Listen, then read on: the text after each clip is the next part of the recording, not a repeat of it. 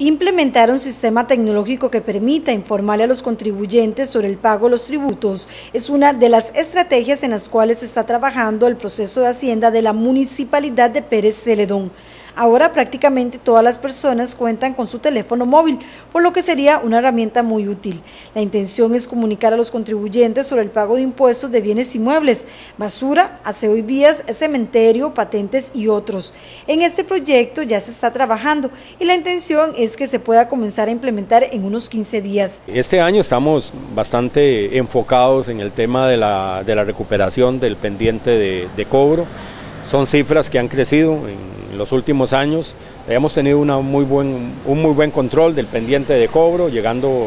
a niveles bastante, bastante aceptables, pero nos ha crecido y este año estamos trabajando, hemos venido coordinando con los compañeros de, de, de TI, de tecnologías de, de información, para que nos colaboren y se desarrolló una aplicación que nos va a permitir con recursos propios, no contratando como hacíamos en el, en el pasado, con recursos propios hacer el envío de, masivo de mensajes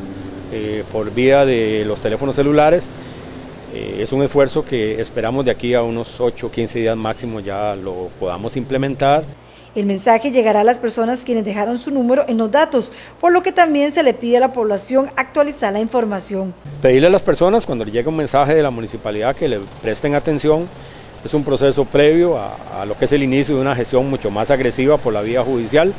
que si alguna persona por algún motivo le llega un aviso y ya no tiene la propiedad o no le corresponde el pago de los tributos, agradeceríamos mucho que nos lo comunique porque eso ayuda a que podamos ir depurando la información que se usa para la gestión de cobro. Esta es una de las maneras que esperan llegarle a la población. Pido mucho, la gente en ocasiones incluso hasta se ufana de no pagar los tributos municipales y creen que eso, la deuda es con un funcionario, con el alcalde, con la municipalidad como institución y no ven que la deuda es con los mismos vecinos del cantón, con todos los otros municipios, porque los recursos que la municipalidad recauda en su gran mayoría tienen que ser orientados hacia la prestación de los servicios y la realización de obras. Entonces es un llamado a que tomemos conciencia de la importancia del pago de los tributos oportunamente para que la municipalidad pueda seguir realizando una labor eh, significativa en términos de promover el desarrollo en el cantón. Días atrás se publicó la lista de morosidad, con el fin también de que la población pague sus impuestos.